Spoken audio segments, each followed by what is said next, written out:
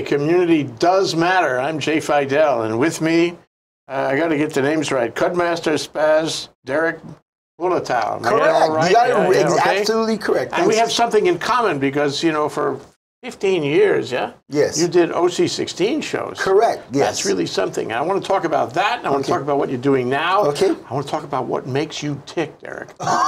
Oh, we're going deep, aren't we? Okay. Deep, yeah. Like that. 28 minutes deep, yeah. All right. Sounds good. Okay, so first, tell us about how you got involved in OC 16. What was that like for 15 years? Well, I heard through the grapevine in the industry that OC16 was going to go 24 hours. Uh, six, Channel 16 was Filipino programming in the day, and then at night they had a few that actually uh, the Bradas and Friends, Overdrive Live, Tiny TV, and AU to Kind. And it was the same episodes that ran all week, all month. But they were going to go 24 hours, and they're looking for positive role models in the community. And I've always been positive from when I was in high school. I did community projects, spoke to uh, kids about different. high school? I went to Castle, Castle right. Night. Yeah. Just, just want to get the definition. yeah, yeah, that, you know in Hawaii, it's, it's what's your last name, where you from, what, what school you graduated from. So I'm from Kaneohe, born and raised, Okay, K-Town. all right, okay. uh, went to Kapunahala, King, Castle, um, and uh, had a lot of adversaries because I was in special ed. Uh, so I got bullied a lot, picked on a lot, and not necessarily just by students, but a lot of people, even uh, teachers and adults, didn't really believe that I was going to make it because I was so rambunctious, kalohe, you know, s- uh, rascal, and a slow learner. So You could fool me about all of that. well, so I spoke at a lot of schools, and OC16 or Time Warner at the time got wind of this.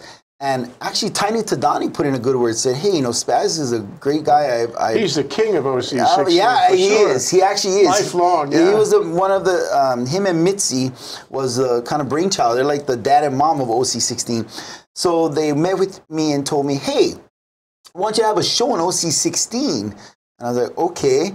Now, I was thinking, my thought was that this was going to be where I come in and I just, hey, pin me up, you know, make me look good, and hey, how you doing? Welcome to the Spaz Show.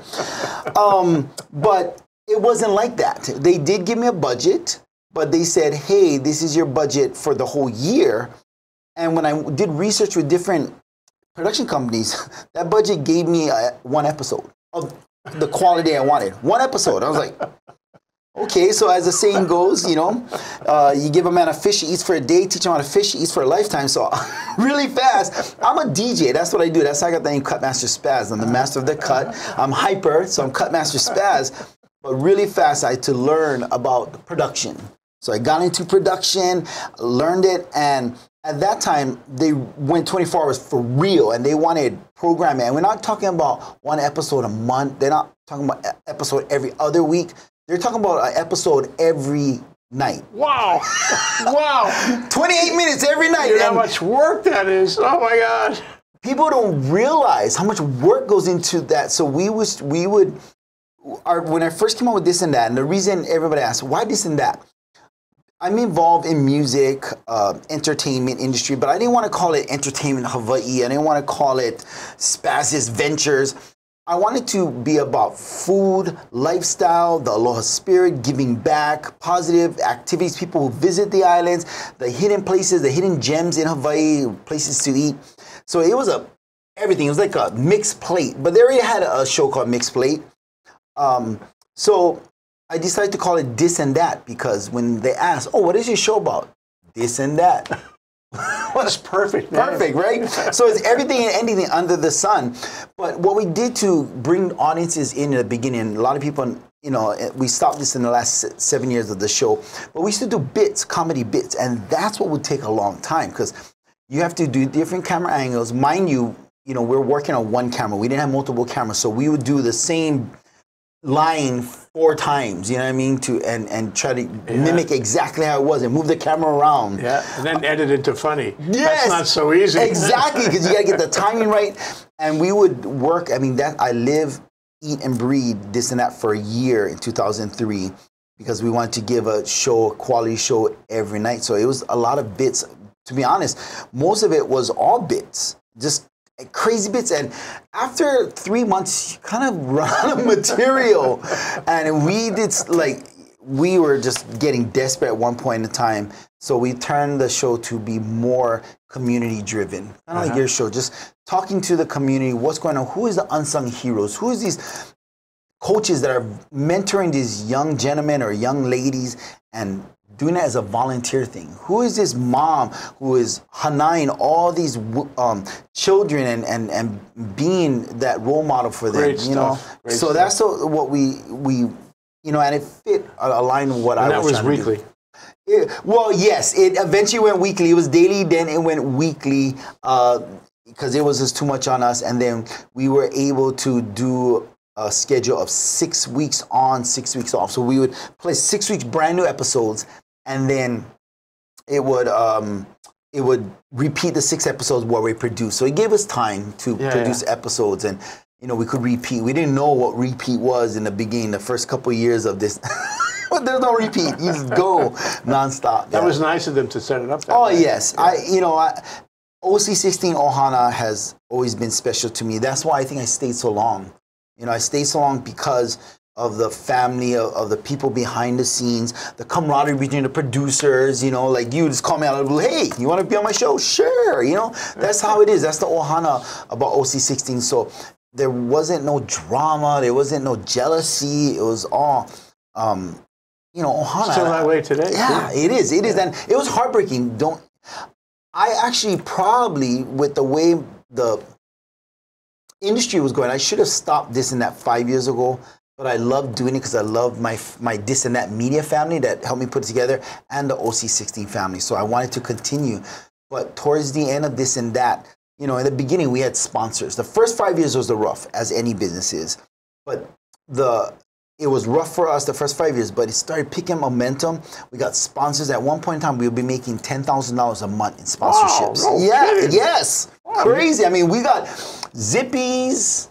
You know, we got um, HMSA. We got all kind of different sponsors. How'd you get them? Did they come to you? Did you go to them? They What did? Yeah. because a lot of them would just be channel surfing and saw this show and thought it was hilarious. That was fun. The bits are funny, and felt it spoke to the audience that they couldn't reach. And the beautiful thing about OC16 is, you know, like this show, you can talk. It's not like a 30 second commercial to get your message across. You can give some a client 28 minutes. You can give them three minutes. You can give them, you know, one minute 30 seconds. That's the beautiful thing about owning a show versus being in a, you know, slot Yeah. where you just have a commercial spot. So.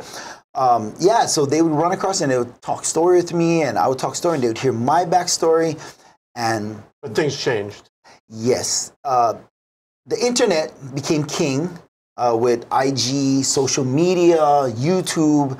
Um, and I realized that the generation, millennials, is not watching TV anymore. They're watching YouTube. They're watching IG videos, Facebook videos, things that come across on other people's feeds. When? Five years ago? Five years ago Okay. five years ago, it started, you know, picking up. Um, reality show was dying down already. The reality reality show, you know, binge Yeah. um, was dying down. But the way people watch, no matter what show it was, was moving more to internet.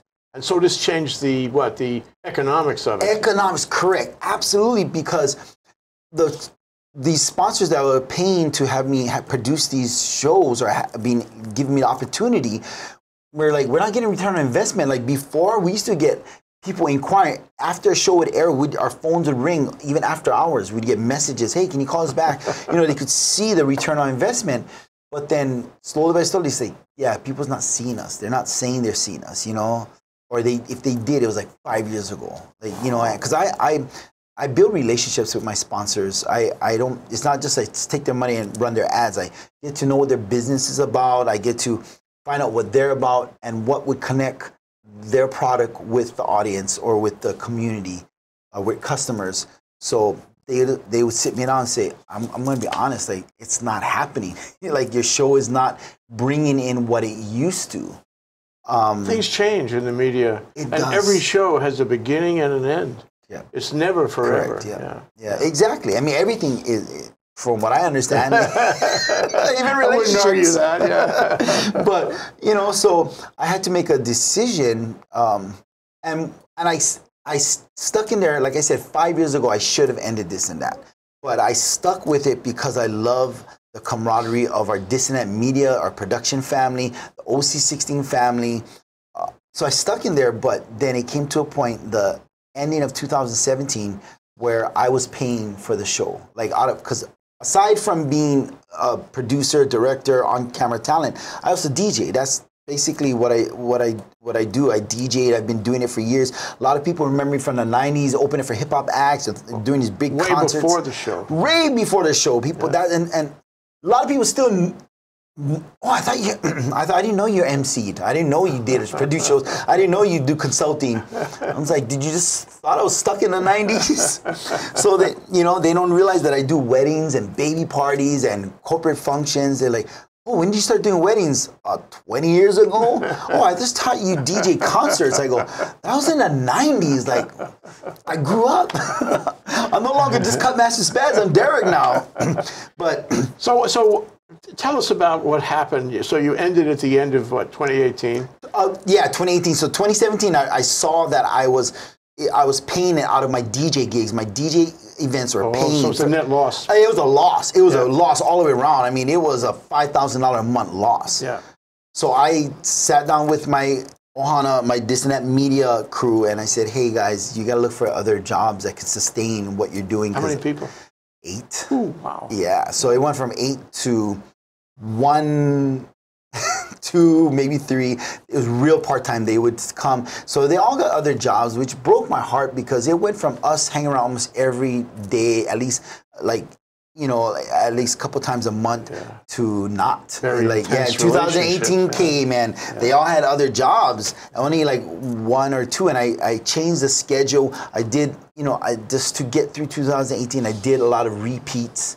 You know what I mean? Meaning I, well, I would do a flashback to what hit back in 2010 or, or this place we visited before and now they're blowing up and, uh, you know, they're big and huge and stuff like that. Just a lot of not shooting new footage, just utilizing, rehashing what we had and explaining, kind of leading to, I didn't tell anybody, leading to like, okay, this is where this and that has been, this is where it is, and guess what? Peace out. It's over. It's over. It's done. Pow. Finished. Done How do you feel about that, sir? you know, it was rough, Jay. It was rough for because you gotta understand, this is like a child. Imagine raising a child for 15 years and say, okay, child, bye bye. It was a lot of mixed emotion. It was rough. It was almost depressing for me because I had a certain, I'm really not good with change. And having seen my Ohana, the OC16 Ohana, the seeing the this and that Media Ohana, having a drive to make another episode and hitting deadlines and making something new and fresh and finding material and content, which you all know about, um, to nothing. To like, oh, guess what? You're retired. Yeah, no you're pressure, no nothing. No Yeah. nothing. But with that said, I still got to make money. I mean, don't get me wrong. I still have my DJ gigs, and I, I- I still do some consulting for businesses and marketing. Um, but it was just weird, and I was like, okay, I need. I'm a person that lives by drive and passion. What is that? Because what I'm doing is to sustain my life, to basically pay bills and take care. But I need drive in my life. I can't stay stagnant. Stagnant is stink, and I like to move forward and keep it going forward, moving. Imua, you know. Um, So there's a transition there after December Yes. how to get your your act reorganized somehow and rely on these other things. So um, you know, I mu- that must have been pretty hard on you for at least a while. And I want to give you one minute to recover, Derrick. thank Can we, you. we take a break for one minute? That that's Kutmaster Spaz, Derrick Yeah. Bulatao, Bulatao. Bullet and we're going to come back and talk more about you know the evolution of this and that after this and that life after this and that in this and that Sounds good. we'll be right back Aloha, I'm Sharon Thomas Yarbrough, a host here at Think Tech Hawaii, a digital media company serving the people of Hawaii. We provide a video platform for citizen journalists to raise public awareness in Hawaii. We are a Hawaii nonprofit that depends on the generosity of its supporters to keep on going. We'd be grateful if you go to thinktechhawaii.com and make a donation to support us now. Thanks so much.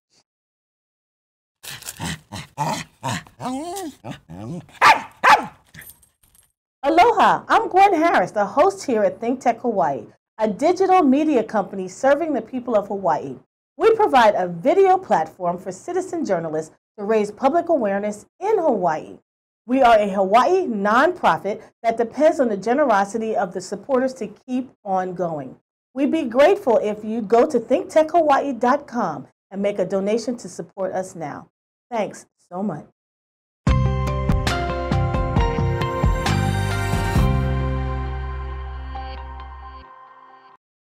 Okay, the remaking of this and that, yeah? Yes. So you brought all your talents to the fore, you connected everything back, and you expanded all the various things you've been doing. So give us a list. this is going to take a while. Give us a list of all the things you've been doing.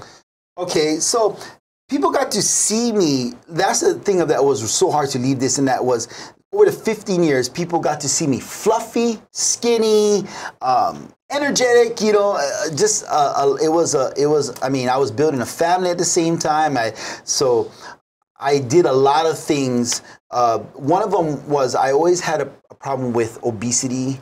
Uh, so I tried every diet under the sun, every program you could try, and it. I didn't have a problem losing the weight. It was keeping it off. I would lose sure. 50, gain back 80, lose 80, gain back 100, lose 100, gain back 130, lose 130, gain Big back 100. swings. Yeah, and never. And to the point where my my doctor said, you know what, like you need help, and so. I got a gastric bypass, and I know it flipped a lot of people out because you've seen this happy-go-lucky, fluffy guy, and then within, you know, this is where we're taking a couple weeks, months off, you know, to, you know, and every time you watch the episode, you see me getting smaller and smaller and smaller, and it's to the point where I started getting emails where people were going, "Hey, Everything okay? everything okay? Like, because I'm bald, they thought I had leukemia. I was like, no, I'm all right. Or that I was doing drugs, like, you know, I'm Batu. Like, they're like, oh man, you look chronic, like, because I'm skinny. So, you know, I was fortunate to, uh, and so what I needed to do, because I didn't tell anybody, it was a journey for myself. And I needed a way, and I was very blessed at that time. It was Castle Medical Center. Now they call it Adventist Health. But they gave me opportunity to do that by saying, you know what, hey, tell your story. So they did a whole campaign for a year with me, and um, they even did a commercial that ran on all the stations. So let's look at uh, some movies you made about this. This is this is great stuff. Yeah, so this is my Castle um, surgical weight loss showing how big I was. And of course, that's me at 347 pounds, Whoa. having a gastric bypass. And then, you know, before then, I couldn't even tie my shoes, I couldn't run. And boom, look at me. 100 pounds later, I can run. There's my kids. I can run before, you know, I could barely keep up with them. Now they got to keep up with me. So that was the Castle, you know, and that ran for a year. And, and that was a really great experience that Castle was able to give me that experience. Um, but it was many things. Sponsors, when I did sponsors, it wasn't just, hey, give me your money, let me just advertise you. I did a lot of things where they became family. And that's the thing I love about OC16 is they allowed us to do segments. So it wasn't just a 30 second like that, that one right there, but we actually had segments. You know, we could get involved with and learn about them and teach our, commu- our community about a certain person or a business and their food, their, their service and stuff like All that. All about community. You Yeah. are a statement of community. That's what I always want to give back to my community. And that's what this and that was. It should have been community talks or, or something like that. But I just wanted to entertain people, but always have a positive message. So at the end of every show, I would say, "This is Spaz saying, keep it positive. I'm out of here like last year." And that's the last thing I always said at every show, every end of every episode. That's great. You got to make it personal. Then it means more somehow. Absolutely. Anything you do, you have to. In this day and age, even on social media, when I would put a picture of something like, like let's say I put a plate of food that I ate at, I just put the picture of the food, it would get probably like 19 likes. But if I'm in a picture, I'm eating, showing me, like, whoa, look at this, it gets like 100 likes because it's personal. It's me saying, I love this plate lunch. This is good. I love this salad. I'm trying to be healthy. You know, it's like, you don't. So a lot of people don't take pictures of the exercise equipment. They show them exercising because that is personal, showing Yeah. their their journey. Yeah, and it's a reinforcement of you too. Correct. You know, it's a feedback to you, so it encourages you to keep on doing that correct, stuff. correct, correct. So let's look at some more uh, photos. We got a lot of photos and little clips here. Yeah, and so You can tell us what, what they all mean. Okay, so like I was saying, so this is what we would uh, do this is a segment we'd give each client this is creative sound and they're still around in Kaneohe and we would go in and I would talk to the audience about because I'm a DJ so this was like my candy store. I knew all of this stuff and I was so excited and I would say hey you know this is this new driver to drive your turntables or your lights or you know I use this for gigs cases and I made it personal. I said I personal where I said how these items would work in my life and how it has helped my life. And the first month it aired, they went, their business went up in 10% in, in sales. Yeah, people would come in and people started coming in. And don't get me wrong, people, some people wouldn't buy or some people just call, but they know people were seeing it. They, because they would get a response. People saying, "Hey, I just saw this uh, spaz on TV, and he's talking about these headphones. Tell me about them." And they said it worked really well, and they would get even outer island calls because Oh, you know OC sixteen state statewide. So Well, you had a big following at that point, yeah. so that's what I tried to do align what I did with with my customers. Yeah, I just I wasn't gonna get you know uh, you know something that didn't fit me. I was gonna get something that aligned. So whether it was food or it was DJ gear or whatever it may be, that's basically what I did is aligned it and made it about my, myself. So it wasn't a sell. It wasn't. It, it was hey, this is what I use. It may might help your life. Whereas I see a lot of you know because you got to pay bills. They're like Okay, you know that person doesn't do yoga every morning at 6 a.m.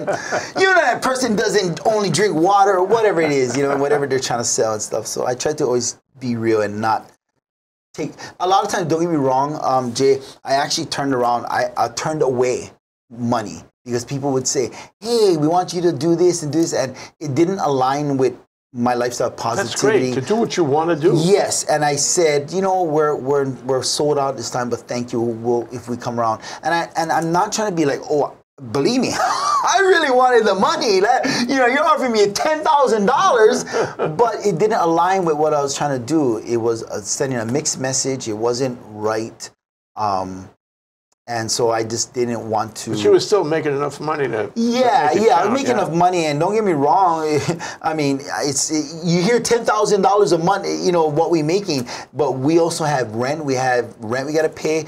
We had to keep up on the latest gear, the storage units. I had eight people on on staff, and and that was their only job. They were they weren't working at uh, uh, someplace and then you know coming. There, this is what they did. They did this and that. One thing I noticed was very interesting about your, your life, that's what we're studying here today, is, uh, is the wedding business and the event business. Yes. That, you know, and it strikes me that you would be, you, you are um, a great host, uh, uh, an event planner, and uh, somebody who would speak at an event and set the tone for the event. Tell me about your life in that area. Thank you very much for that, for noticing that. It's funny you say that because I get people on the street or when they see me at a wedding or an event and they go, I didn't know you did this. Like, what? But exactly, because I always try to, when I do weddings, I'm, or, or any birthday parties or graduations, I get to know the family. So a lot of times at the end of the event, they would, they would be like, um, "How do you know? How, how do you know these this family? Are you related?" Like, I just met them. They called me on the phone. They emailed me, and this is. But I always put myself. How would I like this graduation? How would I want my wedding to be? How would I want this my child's first birthday party to be? So I give ideas to the the mom and dad. I give uh, concepts to the brides and groom, and I make it like something about them. And a lot of times, entertainers and not take away from them, they make it about them. That's their stage. Hey, look at me.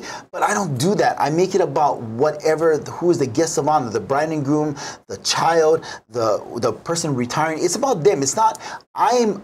I'm not a comedian. I'm not somebody up there trying to make jokes and nothing against them. But I'm I just want people to understand. My job is to make the day smooth and make the entertainment a, a, around the guest of honor Make or the them guest of comfortable. honor. Make them comfortable. Exactly. You know, because you know I, I actually tried co- comedy and I, I failed because it was out of my zone of who I am. So at these parties, I am myself. So I'm true to who I am when I'm on stage, and I'm not rude. I don't crack jokes. I don't crack on people unless they ask for it.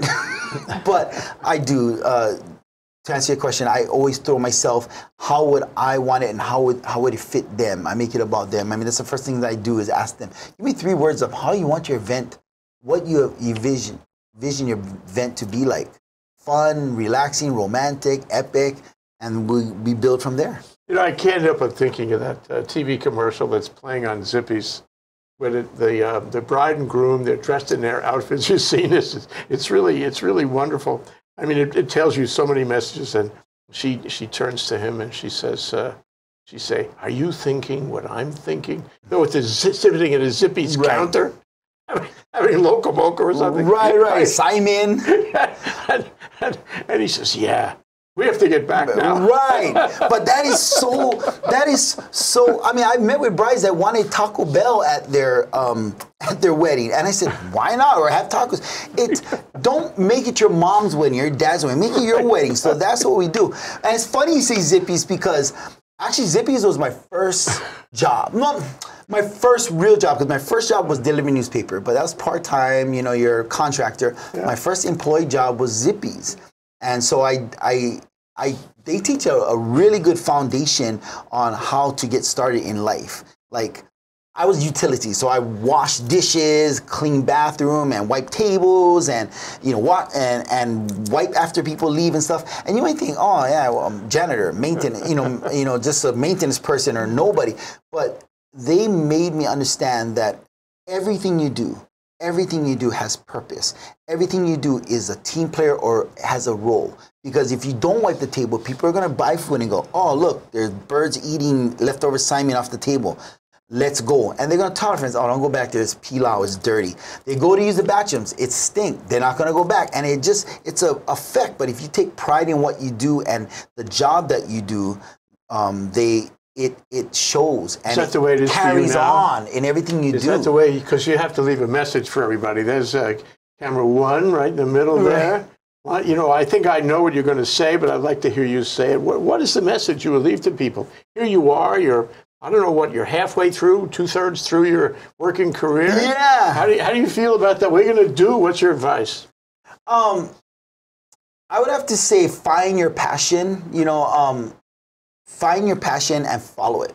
Follow your passion. Find that passion. I think that's why I lasted so long doing this and that TV. Uh, last so long in the DJ business. You know, 30 years plus. I'm still DJing because I I love what I do.